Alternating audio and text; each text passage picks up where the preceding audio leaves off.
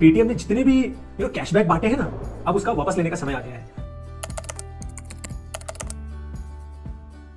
Hello financial fighter मेरा नाम है Lokesh Tiwari and be financially free channel में आपका एक बार फिर से स्वागत है। सो लास्ट वीडियो में हमने चेक किया था पीबी फिनटेक के बारे में। उसका आईपीओ आने वाला है। अगर आपने वो वीडियो नहीं देखा है तो आपको लिंक यहाँ पे मिल जाएगा और डिस्क्रिप्शन में भी मिल जाएगा। आप वो वीडियो भी देख सकते हो। सो so, आज हम जिस आईपीओ के बारे में बात करने वाले हैं उसका नाम है पेटीएम यस सो आपने भी पेटीएम का नाम तो ज़रूर सुना होगा। याद है वो एड पेटीएम करो। यस वो अब अपना आईपीओ भी लेकर के आ रहा है। बहुत सारे कैशबैक बांटे हैं पेटीएम ने। अब आईपीओ की बारी आ गई है। सो so, चलिए डिटेल में चेक करते हैं पेटीएम के बारे में। What is this company about what is the business model social connect founding team members investors total user reach future of this particular industry competitors कौन कौन है पेटीएम के? बैलेंस शीट या फिर रिपोर्ट कार्ड कैसा है? And then IPO detail brokerage house recommendation and then X factor कि Paytm के पास क्या क्या स्पेशल है और हमें क्यों अप्लाई करना चाहिए या नहीं करना चाहिए जो भी कंक्लूजन है वो हम लास्ट में देखेंगे and at the last I am going to share मैं इस आईपी में अप्लाई करने वाला हूँ या नहीं। सो so, चलिए एक एक करके शुरू करते हैं। सो फ़र्स्ट क्वेश्चन पेटीएम क्या है? सो so, पेटीएम एक फिनटेक कंपनी है। 2010 में इसको फाउंड किया था विजय शेखर शर्मा ने। प्योरली ये फिनटेक के डोमेन में थी उस वक्त इन्होंने जब चालू किया हुआ था तो ये एक mobile you know wallet system था। बाद में धीरे धीरे इवॉल्व होते होते इन्होंने और भी बहुत सारे फाइनेंशियल बिज़नेस में अपने पैर पसारे और इसको बहुत बड़ा कर दिया है फ़िलहाल इस कंपनी को। सो so, पेटीएम इनका ब्रांड वैल्यू है। अगर आप एक्चुअल कंपनी का नाम देखोगे इट्स अ 197 कम्युनिकेशन ठीक है? सो so, ये कंपनी का नाम है। सो so, पेटीएम जो है फाइनेंशियल सर्विस प्रोवाइड करने का काम करता है। उसमें से हमने एक का नाम देख लिया वॉलेट सर्विसेज़ इसके अलावा पेटीएम मॉल है पेटीएम लेंडिंग भी है डिजिटल गोल्ड भी ऐसे बहुत सारी चीज़ें हैं वो सारी चीज़ें हम डिटेल में देखेंगे। सो so, इनका बिज़नेस मॉडल क्या है? सो so, इनका बिज़नेस मॉडल यार बहुत सारे बन गए हैं अलग अलग सो so, हम डिटेल में देखेंगे बट उसमें से कुछ जो मेन बिज़नेस मॉडल है वो हम अभी देख लेते हैं। सो so, जो इनका सबसे मेन बिज़नेस मॉडल है वो है पेटीएम वॉलेट इसके अलावा इनका रिचार्ज का भी बिज़नेस है ई कॉमर्स वर्टिकल्स भी है उसके अलावा डिजिटल गोल्ड में भी ये इन्वॉल्व है। सो so, ये जो इनके डिफरेंट डिफरेंट वर्टिकल्स है यहाँ से इनको मेजर रेवेन्यू आता है। नेक्स्ट सेगमेंट सोशल कनेक्ट लोग इनके बारे में जानते हैं नहीं जानते हैं क्या सीन है? सो so, यार पेटीएम को ना ऑल ओवर इंडिया जानता है। क्योंकि इन्होंने इतना हैवी ब्रांड वैल्यू अपना क्रिएट किया, इतना हैवी एडवर्टाइजमेंट किया है। आपने देखा होगा पेटीएम आईपीएल भी हुआ था आई थिंक और क्रिकेट को भी स्पॉन्सर किया था। वो बड़े बड़े ग्राउंड में पेटीएम लिखा रह, लिखा रहता था। और फिर इनके एड्स भी आते थे पेटीएम करो। सो उस तरीके से लोगों के दिमाग में पेटीएम तो बहुत ही यू नो कॉमन तरीके से बैठा हुआ है। नंबर वन नंबर टू इनका ऐप यार इतना डीप पेनिट्रेशन है कि लोग जानते हैं एक्चुअली पेटीएम को। सो so, उस मामले में डेफिनेटली इनका सोशल कनेक्ट तो बहुत ही क्लियर है। जैसे जोमेटो का नाम हर कोई जानता है वैसे ही पेटीएम का नाम भी हर कोई जानता है क्योंकि ये direct B to C company है। सो so, इनके मेन फाउंडर जो है विजय शेखर शर्मा। 2010 में इन्होंने ये कंपनी फाउंड की हुई थी। यार वो 2017 में one of the youngest billionaire भी बन गए थे इंडिया के हिसाब से। सो ये सब कुछ पॉसिबल हुआ पेटीएम की वजह से, इन्होंने इतना अच्छा बिज़नेस इतनी अच्छी कंपनी बिज़नेस नहीं बोलूँगा, इतनी अच्छी कंपनी बिल्ड की है इसका नाम इतना बड़ा है और इतनी सारी सर्विसेज़ केटर कर रहे हैं, उसकी वजह से ही ये उस मुकाम तक पहुँच पाए। सो इनकी कैपेबिलिटी पे तो लोगों को अब फ़िलहाल डाउट तो नहीं है। यार बिलियन डॉलर कंपनी खड़ी करती है बीस बिलियन का लगभग वैल्यूएशन है और क्या ही मतलब कैपेबिलिटी चेक करेंगे। और अगर हम इन्वेस्टर्स का पार्ट देखें तो आप देखोगे तो इसमें जो है विजय शेखर शर्मा लगभग 14 परसेंट ओन करते हैं। इसके अलावा Ant group which is 29 percent own करता है। एंड मेना से एंट ग्रुप मतलब चाइना का इन्वेस्टमेंट अलीबाबा का इन्वेस्टमेंट है 30 परसेंट के करीब। इसके अलावा अगर आप देखोगे सॉफ्ट बैंक जिसने लगभग 20 परसेंट का इन्वेस्टमेंट रखा हुआ है सेफ़ पार्टनर्स ने लगभग 20 परसेंट का रखा हुआ है AGF Berkshire Hathaway Sharma holding company पाँच परसेंट रखती है। इस तरीके से इसमें इतने सारे रनाउंड इन्वेस्टर्स हैं यार। सॉफ्ट बैंक है आंट ग्रुप है which is Alibaba SAIF partner ये सब बहुत बड़े बड़े इन्वेस्टर्स हैं। सो so, इन्होंने अपना भरोसा पेटीएम के ऊपर क्लियरली दिखाया हुआ है। अब हम बढ़ते हैं नेक्स्ट सेगमेंट की तरफ़। अगर आप यूज़र रीच देखोगे तो पेटीएम की यूज़र रीच यार लगभग 35 करोड़ के करीब है और उसके बाद जो सेकंड नंबर है, वो पेटीएम का है, वो लगभग 11 करोड़ है, जो कि बहुत छोटा है और उसके बाद जो आता है, वो है मोबी क्विक सो आप यूज़र के रीच में आप देख पा रहे हो कितना हैवी पेनिट्रेशन है। पैंतीस करोड़ लोगों के पास इनकी सर्विस या ऐप है। अगर आप इसी को दूसरे एंगल से भी देखना चाहो तो लगभग दो करोड़ मर्चेंट है इनके पास। 11 करोड़ लोग इनके ऐप से या सर्विसेज़ से ट्रांजैक्शन करते हैं। टोटल जैसे कि हमने देख लिया 35 करोड़ के करीब यूज़र्स भी हैं। तो ये सारे नंबर आप देख सकते हो, सब नंबर मिलियन बिलियन में ही है यार, बहुत बड़े बड़े नंबर्स हैं। सो so, अगर आप फ्यूचर देखोगे इस इंडस्ट्री का वेन आई से इस इंडस्ट्री मतलब ऑब्वियसली लेंडिंग फिनटेक की इंडस्ट्री ये बहुत ज़्यादा तेज़ी से ग्रो करने वाली है एटलीस्ट इंडिया में फॉर श्योर कल हमने जो पीबी फिनटेक का एनालिसिस किया हुआ था वहाँ पे भी हमने देखा था लेंडिंग का जो बिज़नेस है जो इंश्योरेंस का बिज़नेस है वो कंटिन्यूसली ग्रो करने वाला है विच इज़ फाइनेंस का बिज़नेस सो पेटीएम भी उसी सेगमेंट में है जहाँ पर डिजिटल पेनिट्रेशन हमारा इतना तेज़ी से बढ़ रहा है एंड वॉलेट ट्रांजेक्शन ये सारी चीज़ें बढ़ती जा रही हैं। सो वहाँ पे इनके पास बहुत बड़ा स्कोप है। नंबर्स के मामले में भी देख लेते हैं कि किस तरह का स्कोप इनके पास अवेलेबल है। सो so, अगर आप देखोगे total digital payment by value 2018 में ये 19 ट्रिलियन डॉलर था। 2021 में ये लगभग 20 ही रहा लेकिन हमारा एस्टिमेशन है कि 2026 तक ये लगभग 40 हो जाएगा which is doubling in next five to six years same volume के एंगल से अगर आप देखोगे बिलियंस में ये अमाउंट है। 2018 में ये लगभग 14 बिलियन था और वो हो गया है 2020 तक आते आते 21 तक आते आते 43 बिलियन और ये एस्टिमेशन है कि ये लगभग 150 से 200 बिलियन पहुँच जाएगा 2026 तक। सो so यार पेमेंट के मामले में तो बहुत हैवी ग्रोथ है। सो so इनका जो वॉलेट वाला बिज़नेस है, वो तो डेफिनेटली फ्लरिश करने वाला है।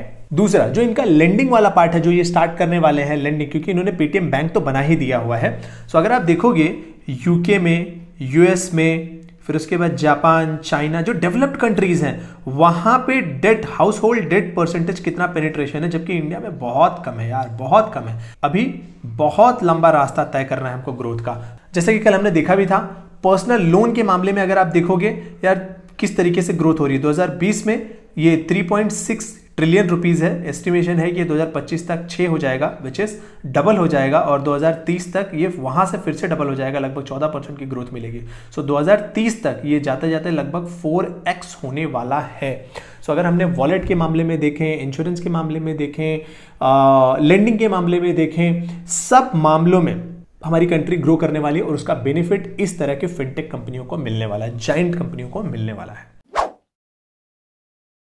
सो यार, हमने फ्यूचर के बारे में देख लिया बिज़नेस के बारे में देख लिया, इनके यूज़र पेनिट्रेशन के बारे में देख लिया, सब कुछ सही लग रहा है। एंड ऑफ़ द डे क्या ये प्रॉफिट बना पा रहे हैं? बैलेंस शीट किस तरह की इनकी है?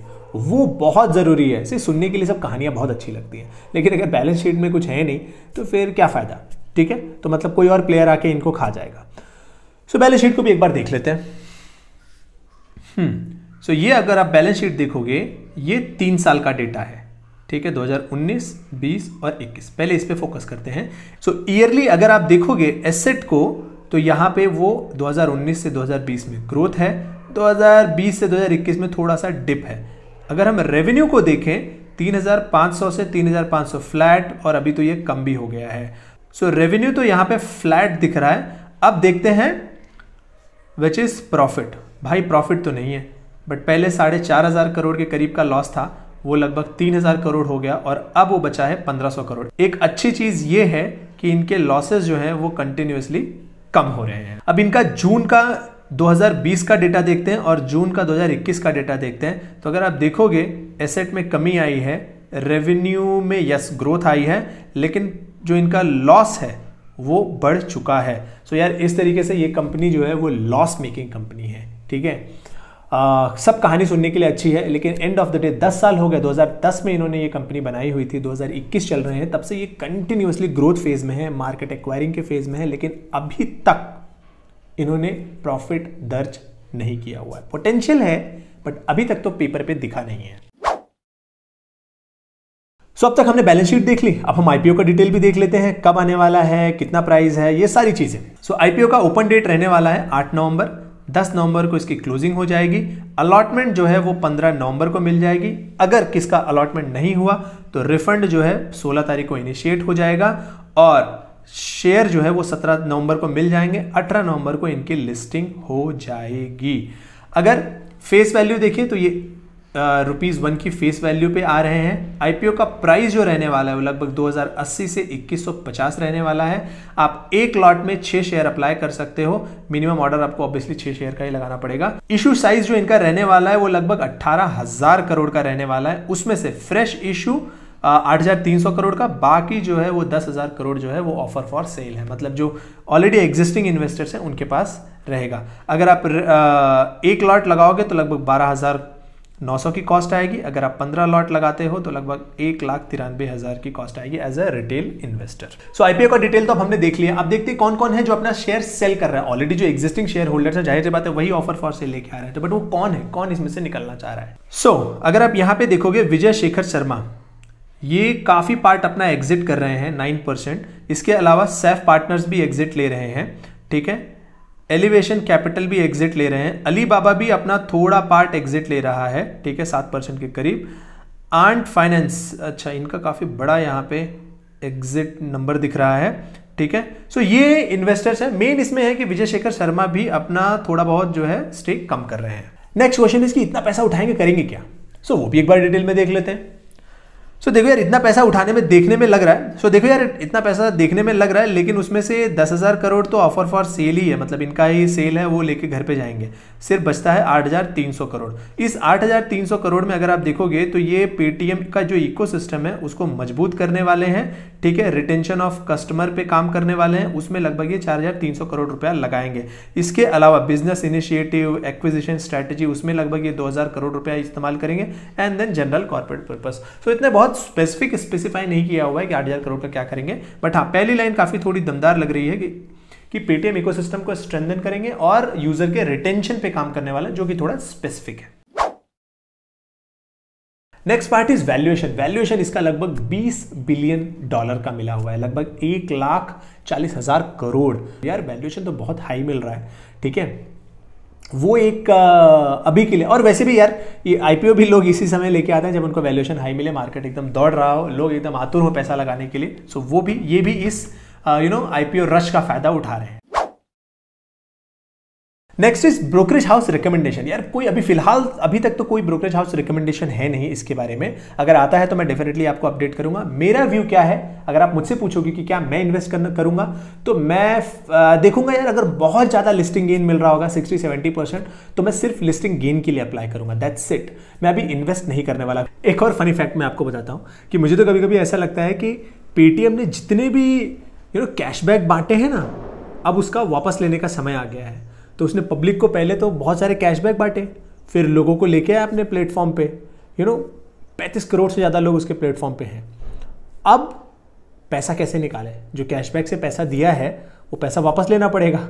तो अब वो लेकर के आ गए हैं एक घाटे वाली कंपनी को आईपीओ के तौर पे। और इतना परफेक्ट टाइमिंग उन्होंने चूज़ किया हुआ है कि हर कोई यू नो फिनटेक फिनटेक सोच रहा है और मार्केट ऑलरेडी एकदम टॉप पे बैठा है, अठारह हज़ार प्लस के करीब पहुँच रहा है।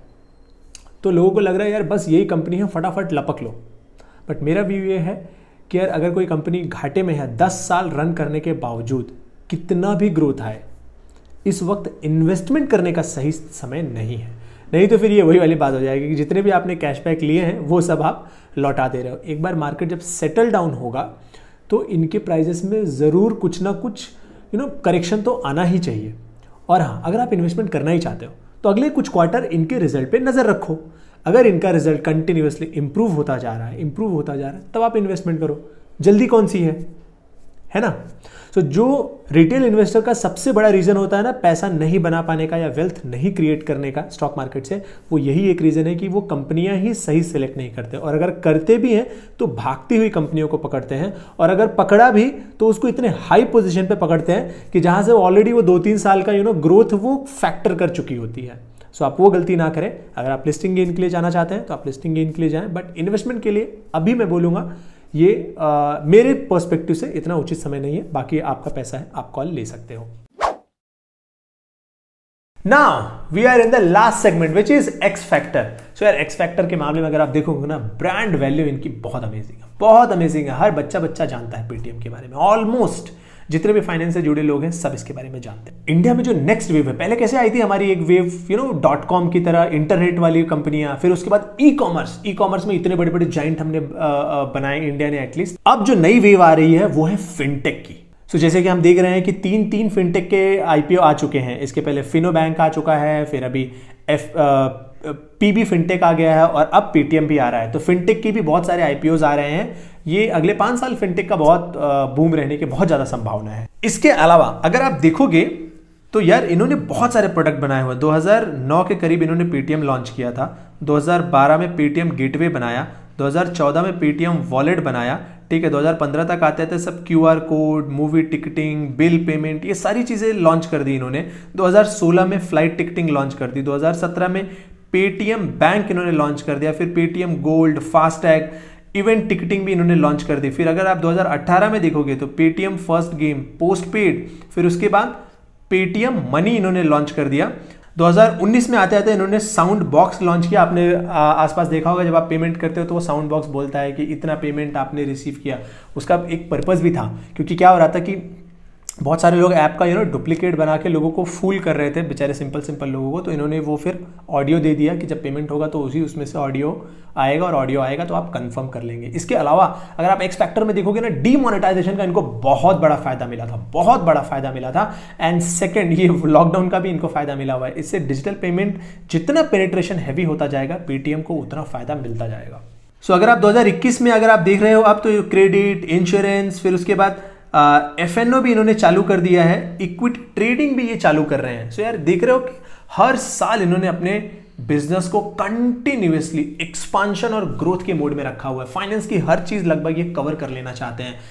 इसी को इनका एक्स फैक्टर कहते हैं। मतलब इनका जो जील है, जो फाउंडर की यू नो ग्रो करने की, जो फास्ट आगे बढ़ने की, ये एक बहुत एक्स फैक्टर वाली चीज़ है। क्योंकि एक पॉइंट के बाद ना फाउंडर थोड़ा रुक जाते हैं स्टेबल हो जाते हैं। बट इनका एक्विजिशन और ये आप जो चीज़ें देख रहे हो जिस तरीके से इन्होंने अपने आप को बढ़ाया है ये एक बहुत बड़ा एक्स फैक्टर है। सो so, अब आप कमेंट करके बताइए आपको ये एनालिसिस कैसा लगा? आप आईपीओ में खुद अप्लाई करने वाले हैं या नहीं हैं? और अगर हाँ आपके कोई सुझाव है तो डेफिनेटली आप कमेंट सेक्शन में मुझे बताइए। सो so, मिलते हैं नेक्स्ट वीडियो में। Thank you so much